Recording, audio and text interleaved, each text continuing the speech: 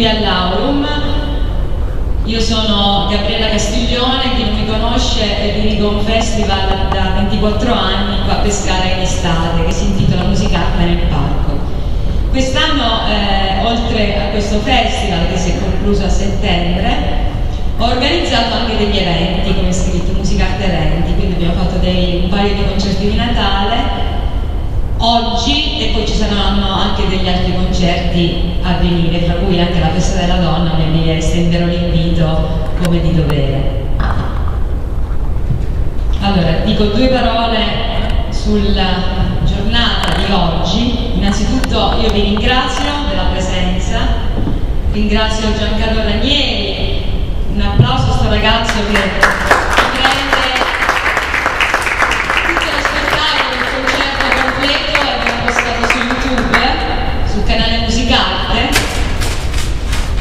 Allora, anche se la definizione di Shoah e il significato di olocausto non fanno direttamente riferimento allo sterminio degli ebrei, i due termini oggi sono utilizzati per indicare il genocidio del popolo ebraico. Il significato di Shoah è terribile tempesta e con questo termine ebraico si indica lo sterminio degli ebrei durante la seconda guerra mondiale.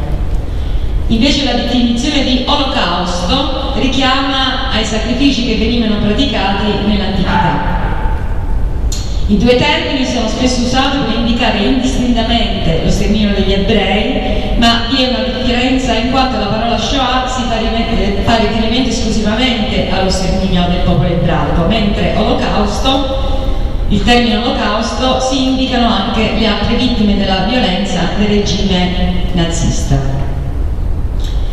Dico due parole per ricordare questi eventi così recenti che eh, sono successi qui nostra, nel nostro continente appunto. Durante il secondo conflitto mondiale i nazisti del Terzo Reich uccisero oltre 15 milioni di persone ritenute indesiderabili.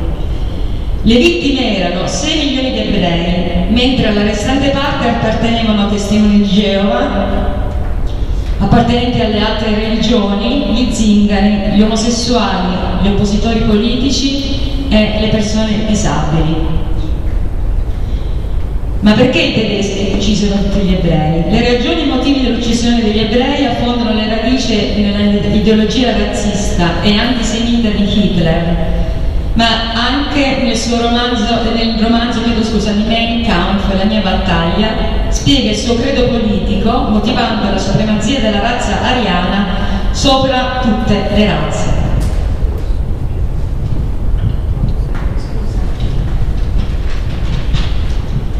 L'obiettivo di Hitler con tutti i suoi compagni del Terzo Reich, quindi parlo dei nazisti, era quello di fondare uno Stato del Führer per affermare la propria superiorità all'uomo e non restava che la guerra per contrastare e eliminare tutte quelle persone ritenute appunto indesiderabili che avrebbero potuto contaminare la purezza della razza ariana. Per purificare il mondo, quindi i tedeschi nazisti iniziarono dapprima ad emarginare gli ebrei con le leggi di Norimberga del 1935. Quindi per comprendere il significato di Shoah bisogna andare indietro nel tempo, alcuni anni prima dello scoppio della seconda guerra mondiale, quando il popolo ebreo inizia a essere confinato nei cosiddetti ghetti. Ma non solo gli ebrei, anche i rom, gli omosessuali appunto, i disabili, divennero le vittime innocenti di questa ferocia che prese il nome di Olocausto.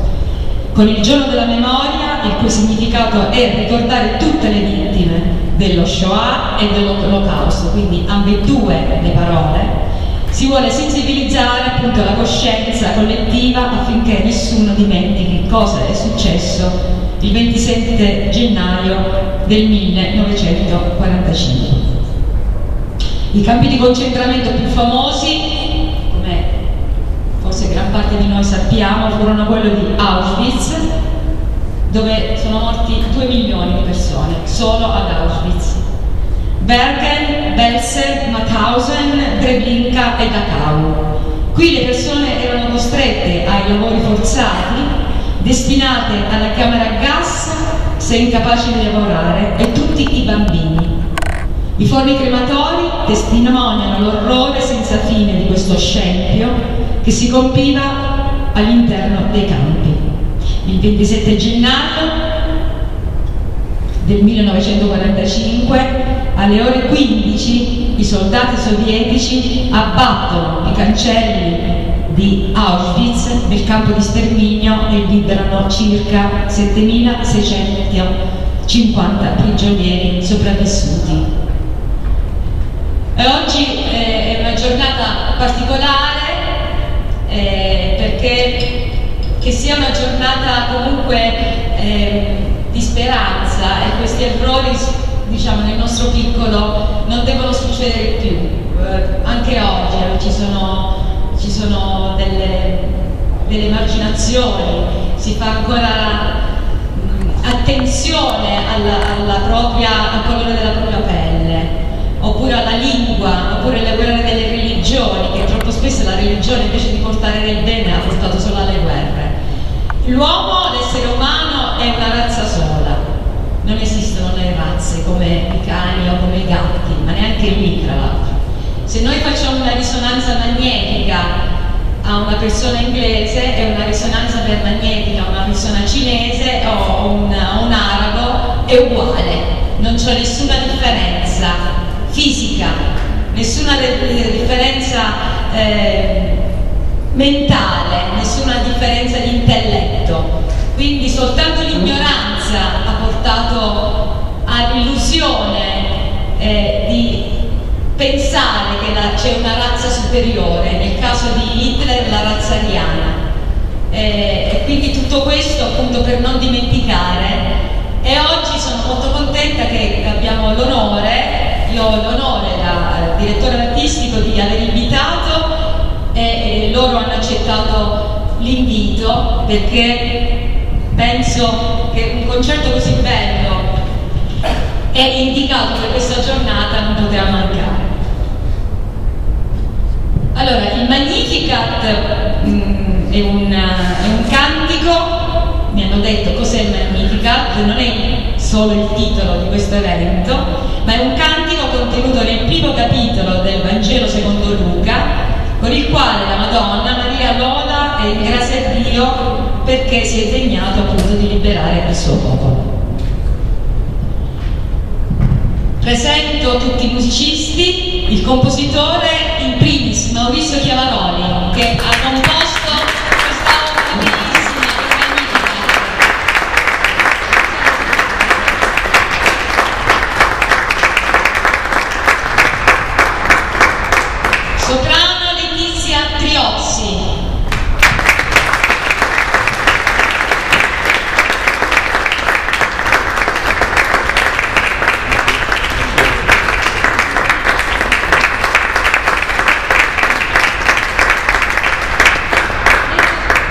Scusa, mezzo soprano Simona Iachini.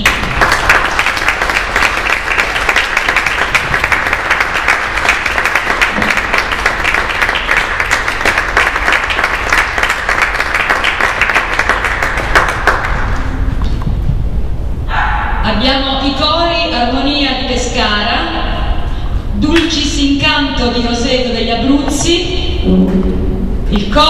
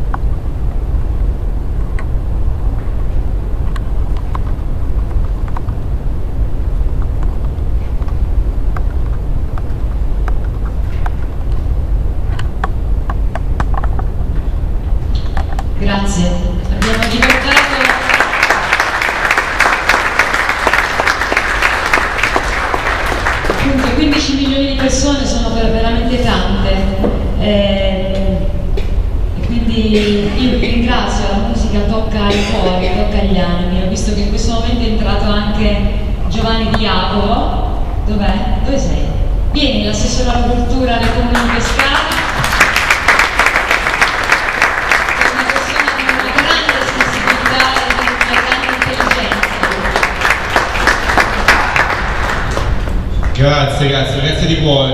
Io penso che eh, a chi pensa che il giorno di memoria sia semplicemente una ricorrenza da celebrare con la retorica, giova ricordare l'attualità e l'importanza di capire, approfondire e tenere bene nel cuore quello che fu un contagio di odio e violenza che distrusse davvero l'unità il cuore e l'anima della nostra Europa. E purtroppo tante di quelle idee di odio e violenza sono ancora oggi presenti, addirittura sono presenti anche in diversi parlamenti di questa nostra Europa. Per questo è importante che noi combattiamo queste idee, questo contagio, questa violenza e queste idee con la cultura. E penso che sia la forma che meglio può permettere di trasmettere a nuove generazioni idee che siano anticorpi a quel contagio per questo abbiamo creato una serie di appuntamenti legati alla cultura contro l'olocausto, di cui questo concerto è protagonista, è il principe, è l'evento sicuramente più partecipato, più amato, anche perché abbiamo accanto a me Maria Bella Castiglione che non smettiamo mai di dire quale fondamentale e preziosissima locomotiva culturale,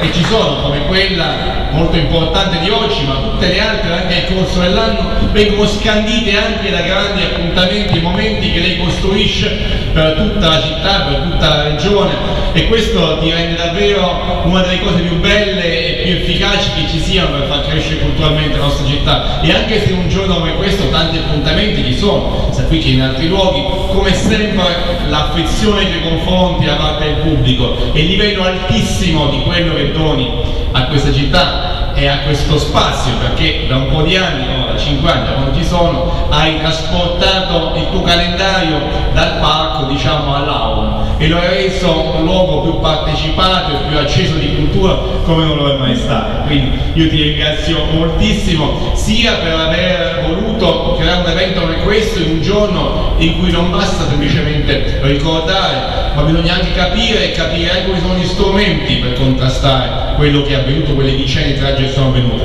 E sicuramente la cultura è una delle più importanti di queste. Io ti ringrazio di cuore come ringrazio tutte le persone che sono qui e che col vostro talento e la vostra musica sicuramente i, come posso dire, inciderete nell'immaginare, nel ricordo di questa giornata e penso trasmettere tanto a tutti i presenti e poi vi ringrazio a voi per riempire come sempre queste sale, questi appuntamenti, ci rincuorate a noi che cerchiamo di lavorare per la crescita culturale di questa comunità, perché vedere sempre le sale piene di così bella gente appassionata dimostra che Pescara non sia una città impermeabile ma invece molto appassionata che ha tanta fame e sede di cultura e speriamo di alimentarla sempre di più tutti insieme. Ciao!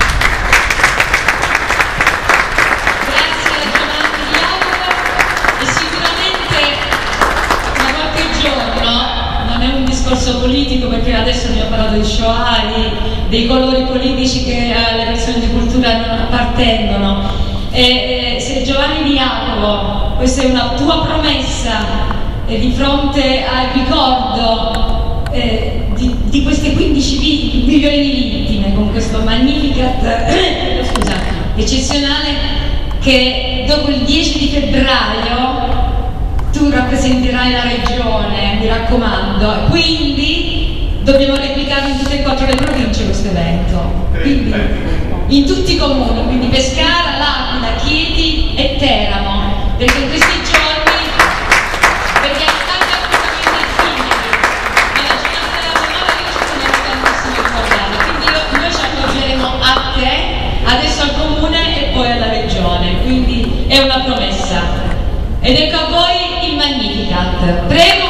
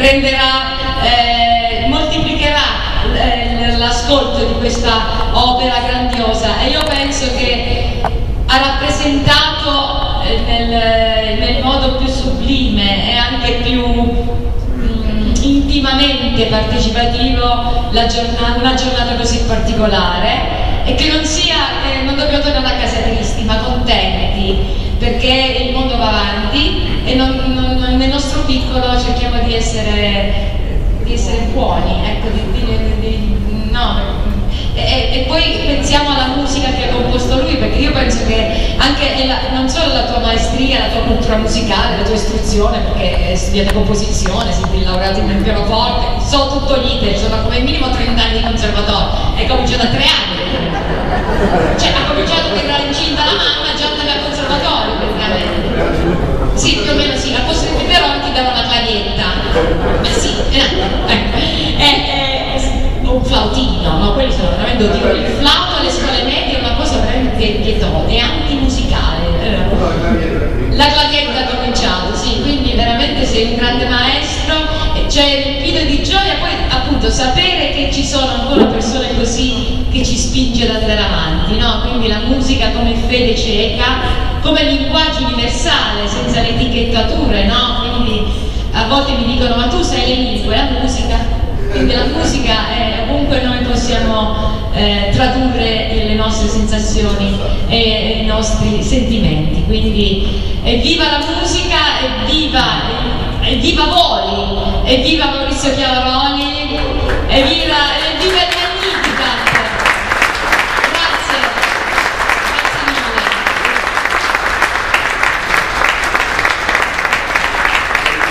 Allora io vi estenderò l'invito per il prossimo evento qui all'Aurum che sarà in ordine temporale il 14 febbraio, che è il giorno di San Valentino.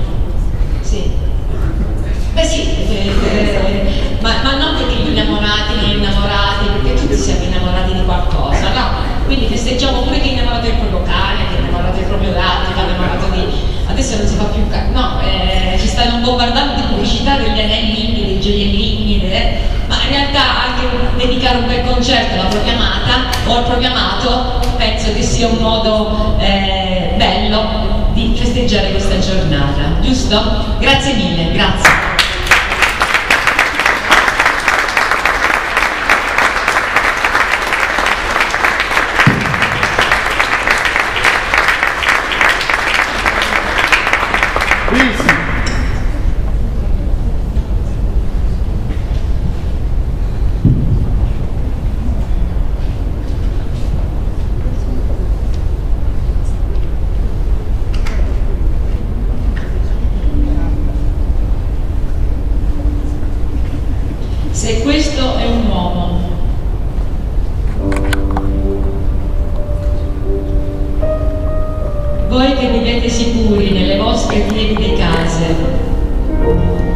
Voi che trovate tornando a sera il cibo caldo e i risi amici. Considerate se questo è un uomo che lavora nel fango, che non conosce pace, che lotta per mezzo pane, che muore per un sì o per un no. Considerate se questa è una donna, senza capelli e senza nome, senza più forza di ricordare vuoti gli occhi e freddo il grembo, come una rana d'inverno. Meditate che questo è stato, vi comando queste parole, scolpitele nel vostro cuore, stando in casa, andando per vie, coricandovi, alzandovi. Ripetete ai vostri figli, o vi sfaccia la casa, malattia vi impedisca, i vostri nati torcono il viso da voi. Primo Levi.